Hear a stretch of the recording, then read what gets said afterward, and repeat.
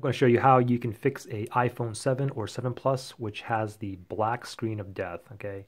Maybe you took your phone out of your pocket and it was totally black. You pushed the power button, all the other buttons, nothing comes on the screen. Maybe you were watching a video, then all of a sudden it turned black, or maybe you have that little round circle thing that will continue to go in circles, but you can't put your screen on or anything else. Or maybe you had your phone plugged in all night, and when you woke up in the morning, your phone was totally black, okay? Now, I'm going to show you how to revive this phone. Now, if you're familiar with the previous iPhones, there was a two key combination that you would do uh, to revive the phone. Okay, and this is very common. All my iPhones, I've had these black screen issues. The only thing is the iPhone 7 is a different key combination. If you have like a iPhone um, 6 or prior, the two key combination was pressing down the uh, home button and the power button simultaneously.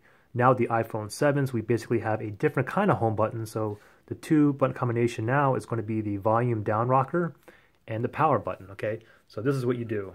Press and hold the volume down rocker and home button. Okay, so I'm going to press and hold home button right here, volume rocker here. Okay, one, two, three. I'm going to press and hold and pretend that my screen is totally black. I'm going, to, I'm going to continue to hold it just like this until basically it goes off. Now I'm going to let go.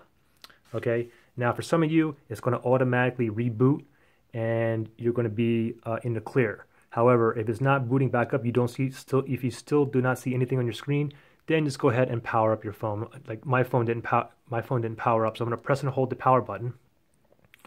Wait till you see the Apple logo, and once you see the Apple logo, you know that your phone is uh, up and ready. And like I said, this is very common. Like this is this happened to like every single one of my iPhones.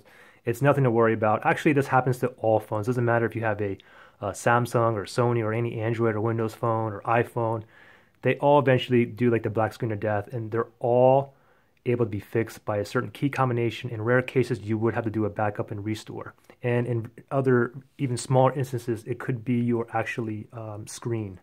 And that's pretty much it. Thanks for watching, guys. Bye.